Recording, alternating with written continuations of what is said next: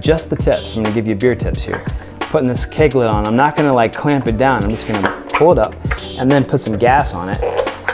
The gas will push it up into place where it needs to be. Now I can clamp it and be sure that it's not gonna leak.